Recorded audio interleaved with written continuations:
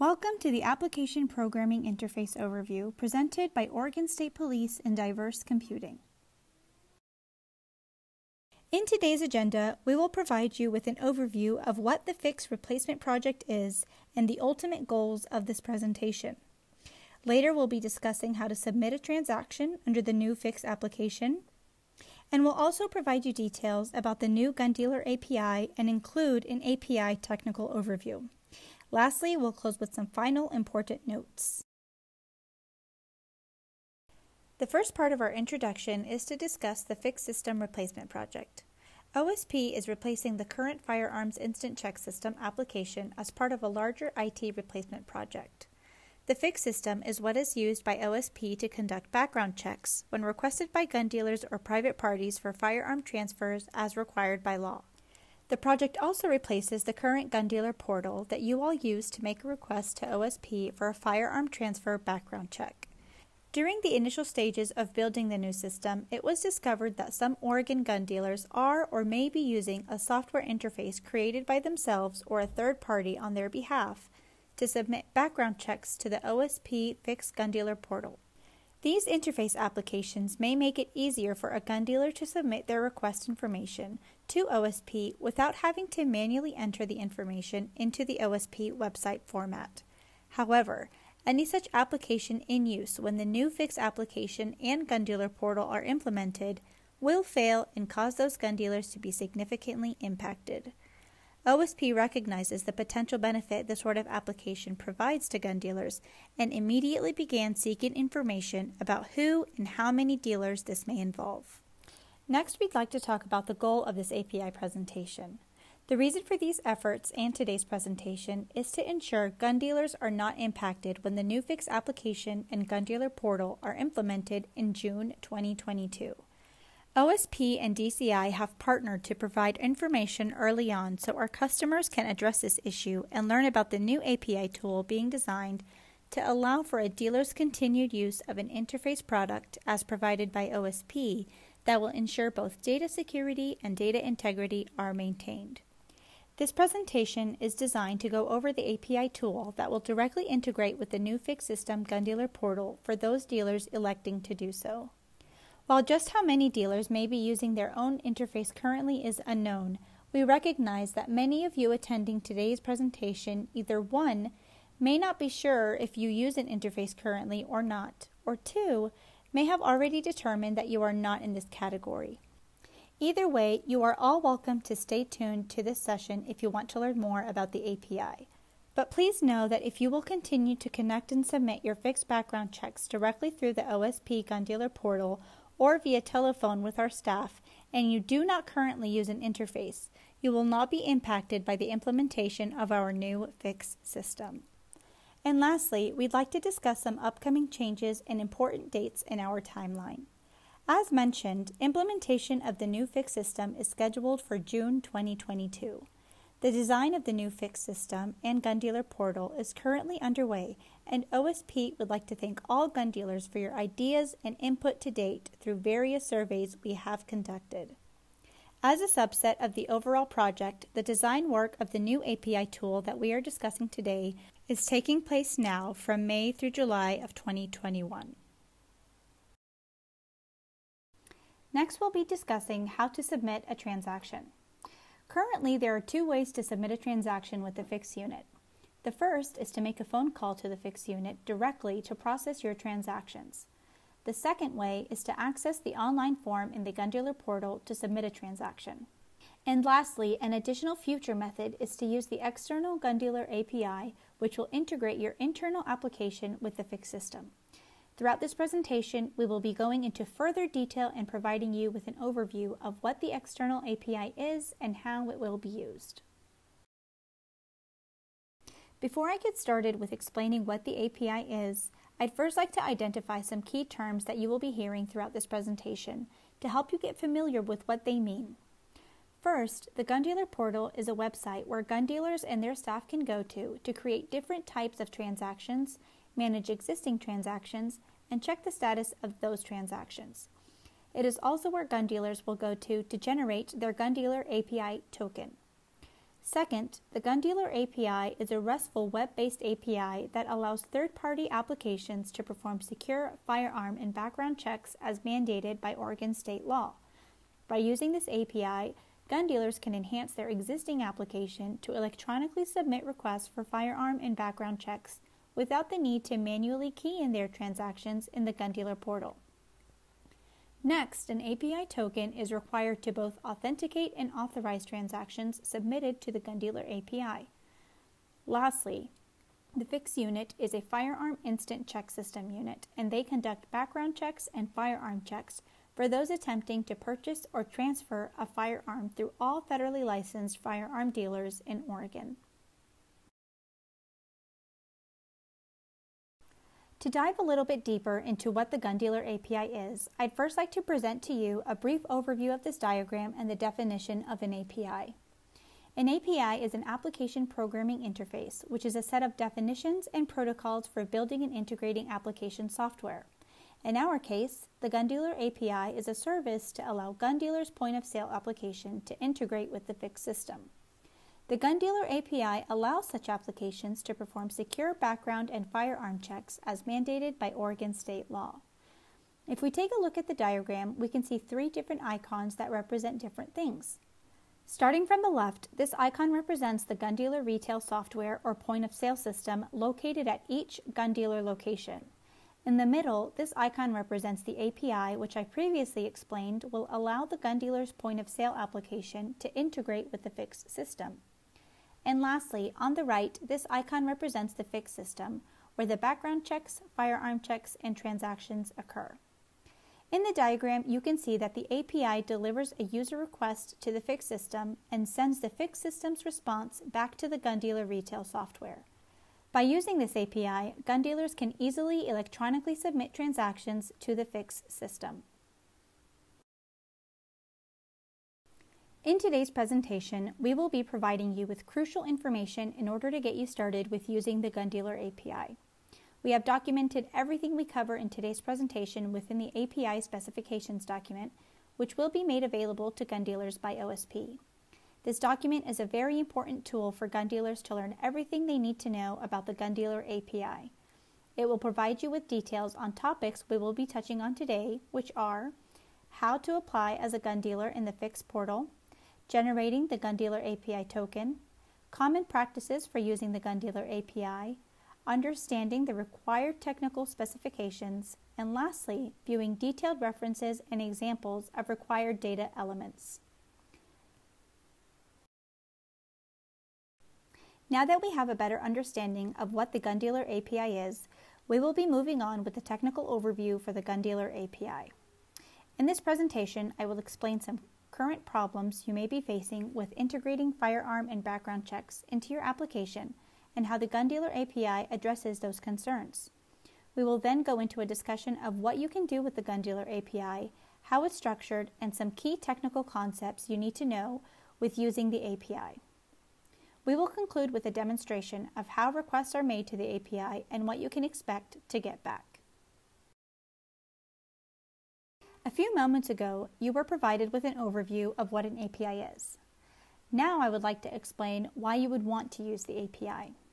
In the current system, if you wanted to integrate with Oregon Firearm and Background Check System, you would have to do something called screen scraping. This is a process where a program would log into the current website as a dealer and submit a transaction for the dealer. As you are probably aware, this type of integration is fraught with risks and potential issues. First, if the website changes, it can break the integration with your application. When this happens, you must analyze the code, figure out what changed, and make unplanned changes to your application. Second, if any of the data you submit isn't valid, you have no way to easily tell which field is wrong and why. And third, firearm and background checks rely on very specific code values to be sent in. It can take a lot of backwards engineering to determine what the expected values are. A better way to handle integration is through an API. An API is a web service that just deals with data and processes. When you submit through an API, you are not submitting through a website. Instead, you are taking structured data and submitting it to the server to process. With the GunDealer API, you use a format called JSON to send and receive data. We'll take a look at some sample JSON in a moment. JSON is a popular format for data transfer because it is very concise and there are many high quality libraries to convert JSON data into different formats that they can integrate with your application. Finally, every major language and web framework has libraries for working with data from an API. In Java, C Sharp, Python, and other languages, you will find basic support for making web requests and processing JSON data. Hopefully now you can see the benefits of using an API over other integration options. It is important to note, for the functionality we will be discussing, the API is one option among many for performing stolen firearm and background checks. As we discussed earlier, the existing options for using the GunDealer portal or calling the FICS unit will still be made available. Now let's focus in on exact functionality that the GunDealer API offers. The API methods are divided into two categories adding transactions, and working with transactions. It is important to note that these functions are not specific to the API only, but rather are discussed for the purpose of showing that FICS functions can be done using the new API or using the traditional GunDealer portal. We will go over these in further detail later, but at a high level, there are three types of transactions that can be added via the GunDealer API. The first is a stolen firearm check. The second is a firearm and background check for purchases made at a dealer store. And finally, there is a transaction for a firearm and background check for private party purchases made through a dealer. When working with transactions created with these endpoints, the GunDealer API allows you to add a thumbprint to a transactions and check the status of the transactions. In total, there are five actions that can be performed by the GunDealer API. All other dealer actions, such as managing users, viewing and paying invoices, and generating API tokens, must be done from the GunDealer portal. One of the great things about the GunDealer API is that it has a very expressive validation engine. As you know, the business rules around stolen firearm and background checks are complex. When you use the dealer portal and make a validation error, you get back a message explaining what went wrong and why. The API uses the same validation engine and reports back the same messages as the GunDealer portal. If you submit something to the API that isn't valid, it will return to you a list of human readable validation errors that will allow you to troubleshoot what went wrong and why. For example, if you send the API a list of firearms for the stolen firearm check and the third firearm has a validation error, you will get back in the JSON which firearm had the validation issue and a human readable description of the issue. All the data sent in the API must be valid before it will be processed by the API. And as a developer, you may be wondering if these complex validation rules are documented, in which case they are all included in the API specification document. Now we will review the different types of transactions. The first type of transaction is a stolen firearm check. You can include up to 500 firearms in a collection, and a stolen firearm check will be started once it is submitted. In the API terminology, this check is referred to as a gun check. The second type of transaction is a dealer only transaction. This represents a firearm transaction made at a dealer's store. It will perform a stolen firearm check and a buyer background check. For this transaction, the API needs data about the buyer, the firearms being purchased, and a collection of identification information. The third type of transaction is a private party through dealer transaction. This transaction represents two private parties performing a firearm transaction through a dealer's store. It will also perform a stolen firearm check and a buyer background check. It requires the same information as the dealer only transaction along with additional seller information. Each of these three transactions will return a unique transaction ID. This ID can be used to add a thumbprint image and to check on the status of the transaction.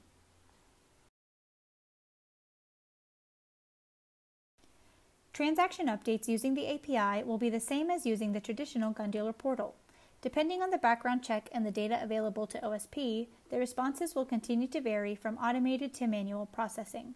Once a transaction is submitted, the API returns back a transaction ID that you can use to determine the latest status by using the request transaction status.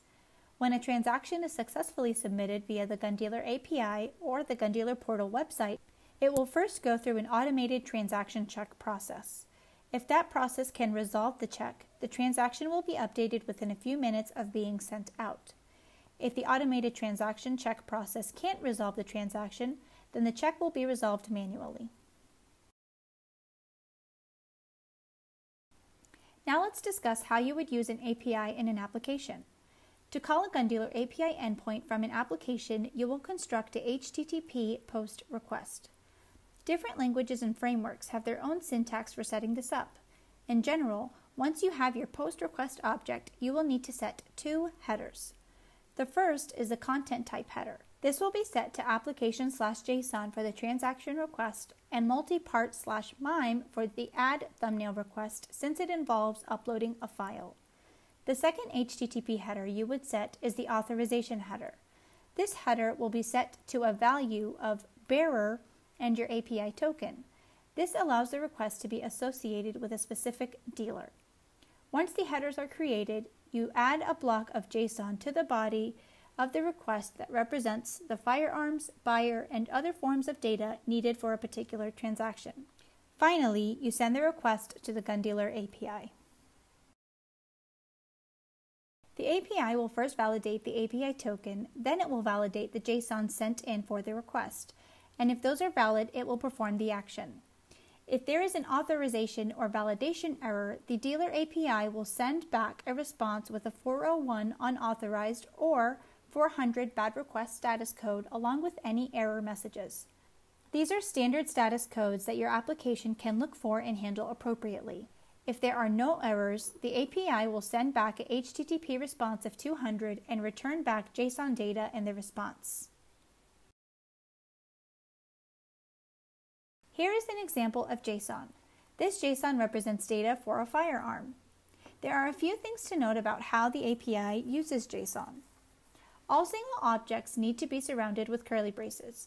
For example, the main request object is surrounded in curly braces since it is a single object.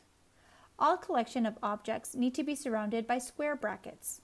For example, the gun checks collection requires square brackets even though there is only a single firearm being specified.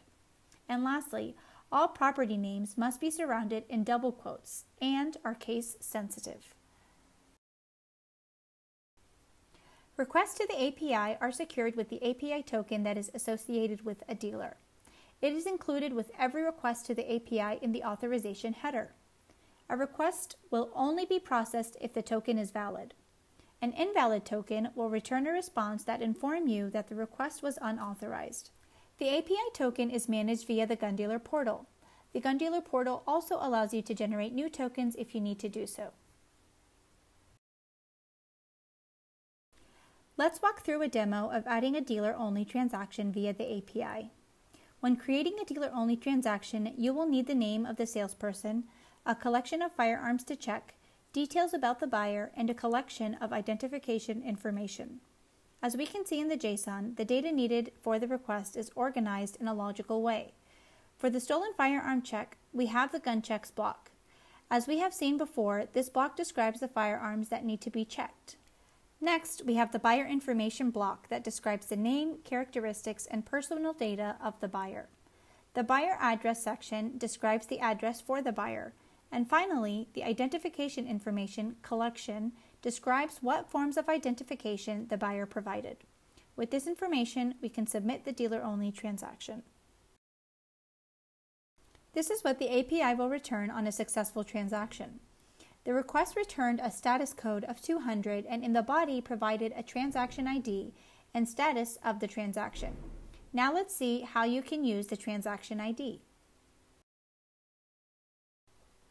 We can use the transaction ID to get the latest status of the transaction. To check the status, we would construct a simple JSON structure that just has a transaction ID in it. We would then send this to the request transaction status endpoint, and the API will return a JSON structure that shows the transaction ID and the current status. As you can see, this one is in the submitted state. The API can return one of these possible statuses submitted, approved, in process, pending, denied, or canceled. Finally, let's take a look at the validation errors. In this request, we have two problems. The first is that we have an invalid action code for this type of gun. The second issue is that either an OAN or Social Security number is required. In this case, we have left both null. In the response, we get back a validation exception that has a collection of validation issues. The API lets you know which firearm had an issue and a human readable error message on why the data is not valid. All of the examples we showed you today can be found in the API specification document. This document will always be up to date, and if you need it, please reach out to OSP to request a copy.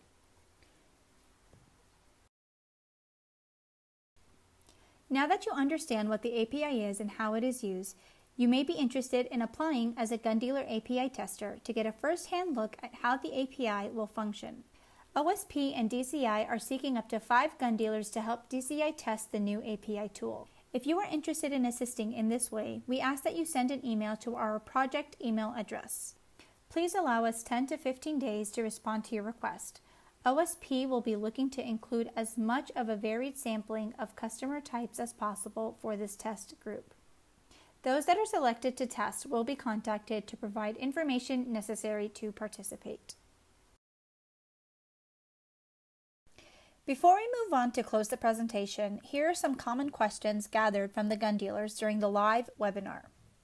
The first question is Do I have to utilize the Gun Dealer API? And no, you do not have to utilize the Gun Dealer API. This technology is available as a tool if you would like to use it. If you are already submitting directly through the Gun Dealer website, you do not have to change to using the API tool. The next question is How can I get a copy of the API specification document? To get a copy of the API specification document, contact OSP at leds.2020 at osp.oregon.gov. Another question that was asked during the webinar was Is the API token a one time request or will there be a refresh requirement over time? The API token will be associated to an authorized user account within the Gun Dealer portal. As long as the user account that generated the token is valid and the password has not expired, the token will also be valid. Optionally, the administrator account will also have the ability to generate a new token if and when needed. The next question is Will there be test endpoints we can use during our integration development? And yes, there will be a test server set up that will be available for use during your integration development. Details regarding the endpoints can be found in the API specification document. And lastly, how can I apply to become a Gun Dealer API tester? To apply to become a Gun Dealer API tester, you will need to contact OSP at leds.2020 at osp.oregon.gov to request the API connectivity form to begin the process of your application. OSP and DCI would like to extend our appreciation to all of those who joined us in the presentation today. Your questions, comments, and interest in this matter are very important to us. We are looking forward to this application replacement and new functionality that we hope will be beneficial to both our customers and OSP as we strive to make improvements whenever possible. Posted here and on the OSP agency website are contacts relevant to this session and the FICS system replacement project itself.